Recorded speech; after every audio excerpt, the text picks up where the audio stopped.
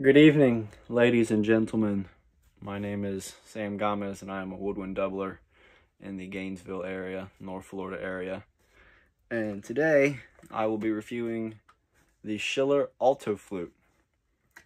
Um, I think this is the American Heritage. Uh, same, um,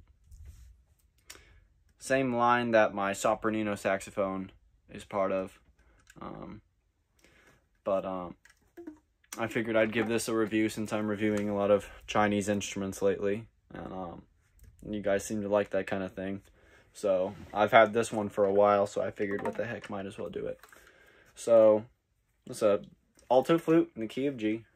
You can see it's quite long.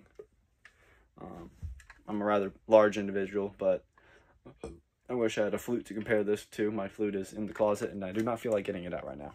So anyways, so alto flute in the key of G, uh, made by Schiller. See that right there, Schiller, Frankfurt, Germany. Uh, it's a Jinbao. Um, Schiller just puts their name on it, and um, I've had this instrument for quite a while now. I think about three years, and um, it actually belonged to my wife at the time, girlfriend. She was in um, music school, and then ended up not pursuing music. So um, so now I have it. Um, talk a little bit about this instrument. So, um, at the price point that you get it at, I think she paid $700 for it new, which for an alto flute isn't bad. You can find a, a or an older Artley for I think about 1500 1200 um, and for that, I mean, you might as well just bite the bullet and spend the extra, you know, four or five hundred dollars it is to get a, a, a sterling silver flute because this is not sterling silver.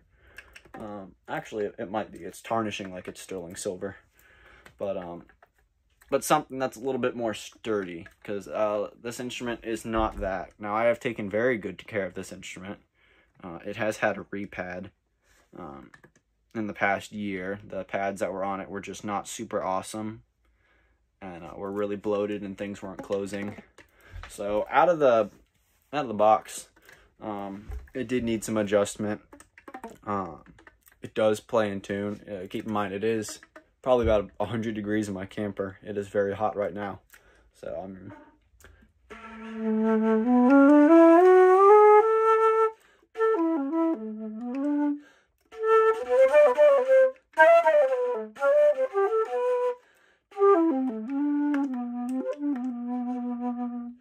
mean, it's an alto flute, so I mean, it does the the thing that an alto flute does, which is play the alto voice in the flute family.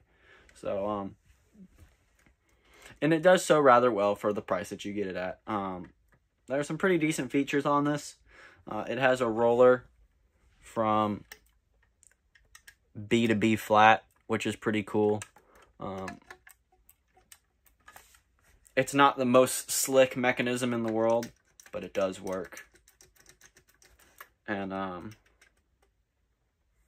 every once in a while this screw that has the roller will come loose. But you just screw that back in. Remember we're, we're talking about an alto flute that you can get for $700 all right so don't be expecting much. And i've noticed with schiller instruments because i have played a few um, they kind of hit and miss.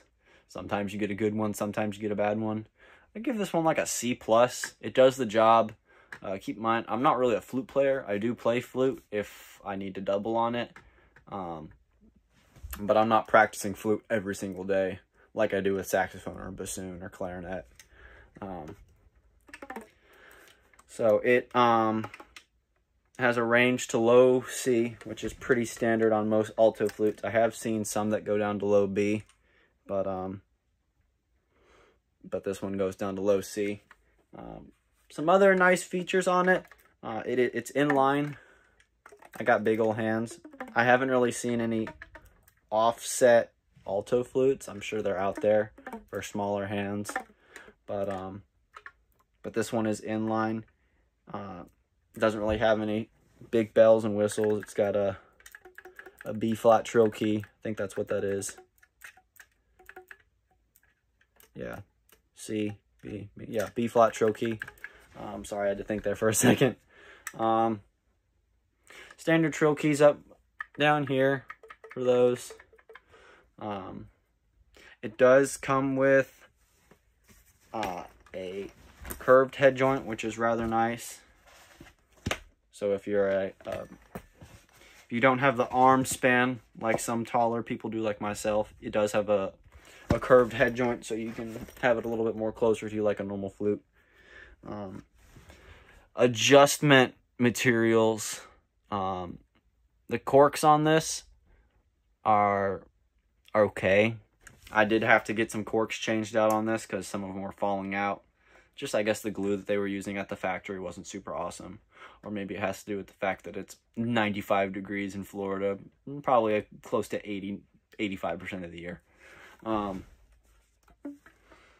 which, you know, will melt some glue. Uh, it does have some adjustment screws on on A right here. I don't know if you can see that. Where is it at? Uh, adjustment screw right there. So that is pretty nice. Again, a professional touch. I have seen some flutes that don't really have any adjustment material, so you're just having, I mean, uh, adjustment screws, so you're just having a bend metal. So that's kind of a nice feature. It also has one down, where is it at? I saw it down here for F sharp. Where's it at? Right there. Which is rather nice. Um, for the most part, it plays in tune. Uh, that's kind of what you're looking for in, in Chinese instruments. Is Are they usable? Do they play in tune? For the most part, yes, it does play in tune. Uh, I do have a little bit of a hard time getting up to the second and third registers. I can hit, I think I can hit an F.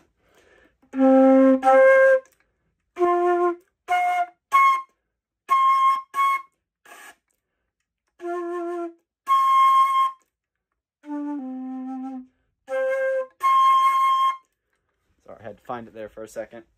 Um, and um, so yeah, I can hit that. It is relatively easy to get around on. It feels pretty good underneath the fingers. Um, there's a roller for the low C, which is pretty nice, but I think that's pretty much standard on most flutes in general. Um, the metal, it's kind of thin. Um, I've tried my hardest not to drop it over the years, but there is a little bit of squish to this. I know that this part right here is very, very thin. Um, in general, but um, it does have some squish to it. The metal doesn't feel super, super uh, thick. Uh, probably not made out of the best material. But, and the, the posts do have some bend to them. Uh, key cups have some bend to them. So just not the best metal quality which um for that extra four or five hundred bucks that you could get from a Gemeinhardt or an Artley, or hell even a Pearl. I think the Pearls usually run about two grand though. Um, you might as well just get that. Uh, I had, I mean, my wife had a budget, you know, fresh out of high school, trying to get uh, an auxiliary flute. She already had a piccolo, a rather nice piccolo, might I add. I think it was a pearl composite. Um, it's like a mix of like wood and resin. So I mean, already a really nice uh, piccolo, really nice flute. Um, you know, didn't want to really drop all of that coin on an alto flute if you're not going to be playing it all that often. Um, but as far as usability, I have used it in pit orchestras before, and it has done the job. Um, obviously it doesn't have all of the bells and whistles that say a um, a more professional flute uh, would. Doesn't have all the trill keys and doesn't have all the adjustment screws and you know it doesn't have a, a rose gold head joint or a, a, solid silver head joint. I really don't know what this is made out of. I'm sure probably some sort of uh, brass if I had to guess. Um, very thin brass, but it gets the job done and it sounds half decent. So I mean, like.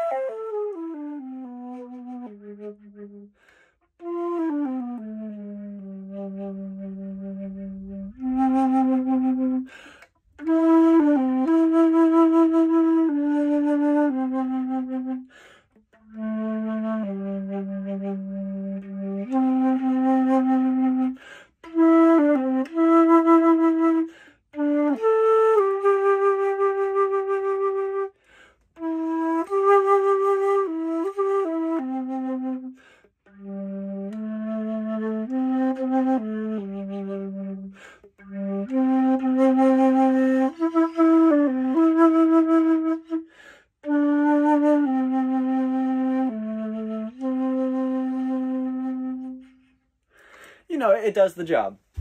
Um, pardon my, my flute playing skills aren't exactly where I want them to be, but um, it does pretty okay for something just to dick around on. You know, saying, "Oh, I have an alto flute." Um, for your own personal recording projects, I have used this for my own personal recording projects.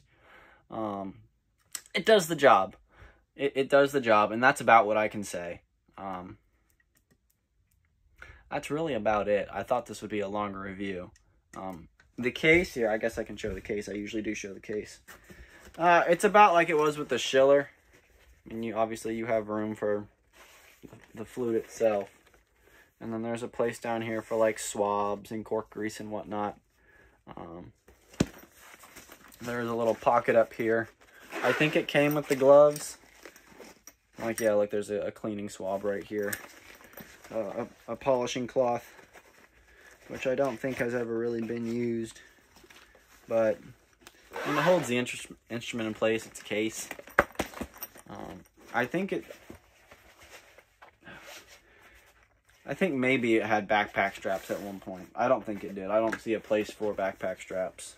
I don't feel anything in this little pocket right here. It does have a nifty little shoulder strap. So you can just sling it over your shoulder, which is quite nice. Um, but all in all, I mean, it, the inside, it's made out of styrofoam. So over time, it will deteriorate and you will have to go find another case. Um, I think, you know, there are aftermarket alto flute cases. Um, the price points on those, I do not know off the top of my head. But um, overall, I give this like a C plus, maybe a maybe a B minus. It it does the job and that's about all you can really ask of it. It's not going to be pretty. It's not going to it's not going to, you know, be like, "Wow, you have a Schiller. That's cool." You know, it's not like that. It's you know, when people say Schiller, like, oh, "Schiller, what's that?" So, you know, it's a Chinese alto flute. It like I said, does the job. Does it adequately. Uh nothing, you know, too terribly crazy. But um you do have to grease these every now and then these end joints, um, or the the uh, I guess the boot joint. I don't know what you would call this joint. Um, the low joint and the head joint. Um, you do have to grease those every now and then, whether with just a little bit of oil or some cork grease or something. But um, but that creates leaks over time, and you know it's. I I just put a little bit of water and just I don't know if that's bad for it, but I usually wipe it off every every time I use it, which I have not broken this thing out in a while. So, but anyway, um, oh, it does have rolled tone holes like most flutes. Um, as I'm looking at this, yes, it does have rolled tone holes. has metal resonators to make it a little bit louder, so that's pretty cool. Um, as alto flutes usually are, quieter instruments, but um, but yeah, for for seven hundred bucks, I mean, you know, if it if it were me, I would just I would just save up the extra four or five hundred dollars. It would be to just get an art uh an aftermarket Artley or a Gemeinhardt or something. Um, but yeah, that is the Schiller Alto Flute. Uh, I'm sorry there wasn't a whole lot to this video. It is incredibly hot in here and it is affecting my ability to think. But there also just really isn't anything super remarkable about this alto flute. It does what it needs to do, and that's about all you can ask of it. So, would I recommend it?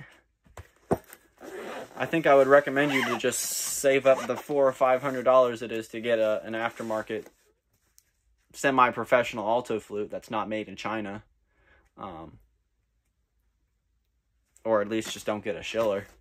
Um, these are also the the kind of the alto flutes that you see on eBay uh, that are very low in price. I think it's the same manufacturer, but but yeah, I mean overall, I mean I use it. It's okay. If you want it to get the job done, it will. Um, I mean, you can use it for, for flute choir, for for jazz, classical, whatever you need it to use. But I feel like if you're going to use it in a classical setting, you might as well just, like I said a million times before, just save up the extra four or five hundred dollars and get you a get you an Artley or Gemeinhardt And that'll probably serve you a lot better because at least the metal is better quality. And I'm sure it will stay in adjustment a little bit longer. That's another thing before I end this on this case. I mean, it moves around a little bit in there, but this instrument, when I did use it a lot, I really don't, I'm not really playing alto flute all that much anymore because I'm really playing low reed books when I was playing like reed 2 and reed 3. Um, every now and then it would call for alto flute, but um, it would go out of adjustment from time to time, so I'd have to take it to my repair tech and he'd have to bend stuff back because there's only two adjustment uh, adjustment screws. So and then ever and then after that the metal would bend back. So I would recommend getting something with a little bit sturdier metal. Um, this alto flute works for me. I'm usually really careful with it. But um, if you're gigging this thing all the time, I would recommend you get uh, a stronger, uh, an alto flute with better alloy, I'd say. Um, that's not so flimsy because it does feel kind of flimsy when you're holding it.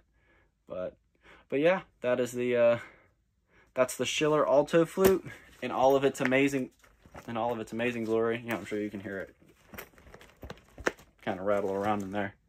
But that is the Schiller alto flute in all of its glory. And um, I'll try and review a little bit more of these. Um, Schiller also makes a bass flute, which I have been wanting to get for a while. Just because, you know, it's a bass flute. It's freaking cool. But, but yeah, this has been the Schiller alto flute. And I hope you guys enjoyed this. I know I didn't have all that much to talk about. But um, hope you were able to get a little bit out of this. And if you think about purchasing one of these, you know, watch this video. I'm sure it will give you a little bit of information. All right. Y'all take care. Bye-bye.